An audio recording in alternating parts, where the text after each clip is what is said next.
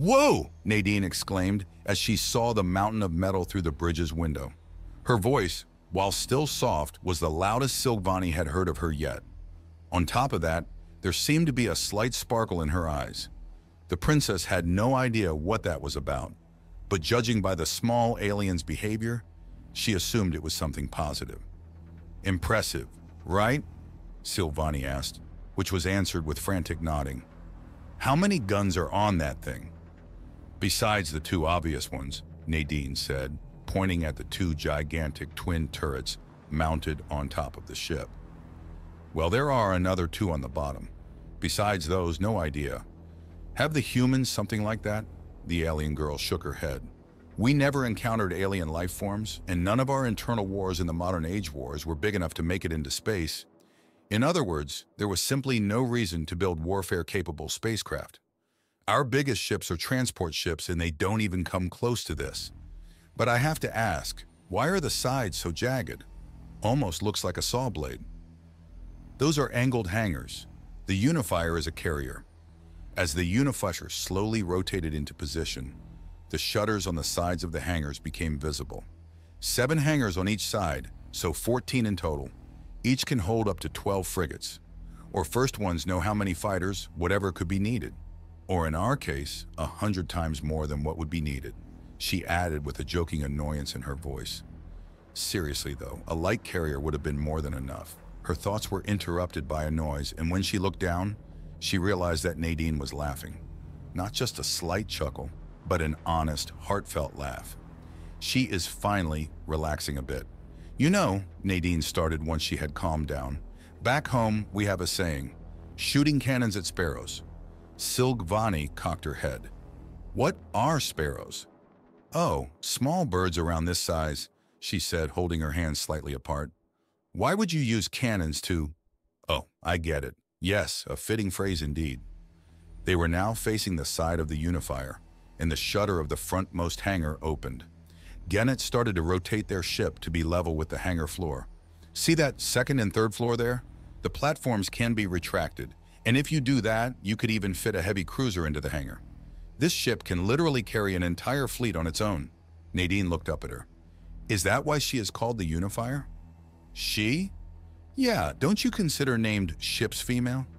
No, we don't. Why would... Anyway, it is named after my ancestor, King Chiron the Unifier. When we made contact with alien civilizations, he advocated that Homai should not be separated into individual kingdoms and that we would have a better position in intergalactic politics if the planet was united. The alien girl cocked her head. Wait, so the other kings just gave up their power? No, of course not. Chiron wanted to form a council instead of a single ruler. And many agreed with him, but unfortunately, not all. When the separatists realized they were in the minority and wouldn't be able to compete economically, if over half the planet banded together, they wanted to stop the unification by force. That event is today known as the Unification War. After the war was won, the other kings were impressed by the flawless leadership Chiron had shown. They decided that a council would be too slow to react in case of an emergency and surrendered their power to him. Ever since then, my family has ruled over the planet. Nadine's eyes became narrow. Just because they were impressed, doesn't that? Her question was interrupted when Ganat finished his maneuver and opened the com channel. Relative standstill achieved, horizontal alignment 98%. Landing gears are out. Understood. Initiate reverse landing. Er, what is reverse landing? Nadine asked, sounding confused. Instead of answering, Silgvani simply pointed out of the window.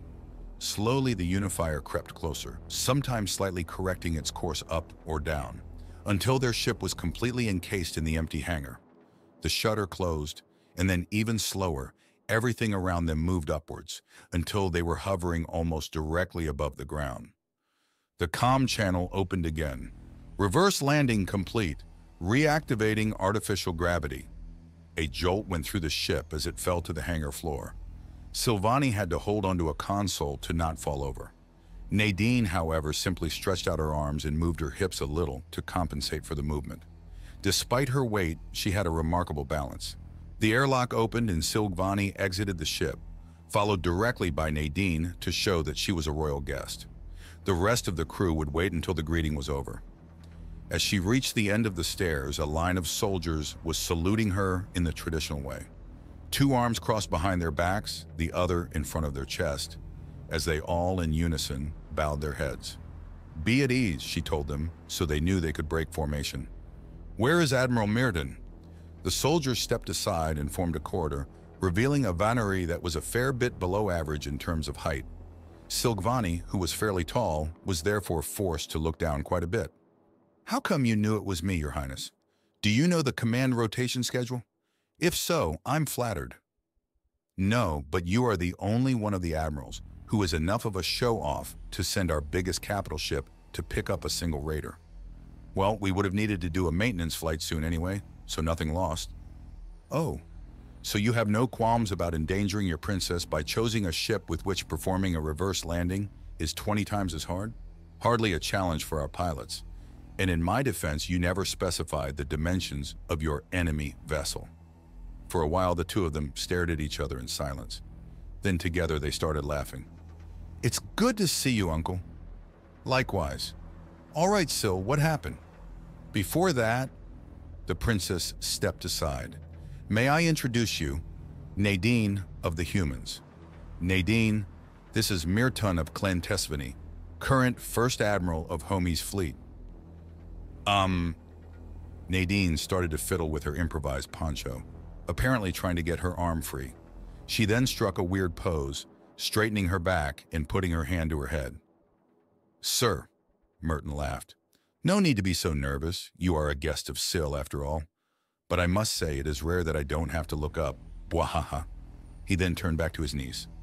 An unknown sentient species and a captured enemy vessel. I assume there is a story to be told here. You bet, Uncle.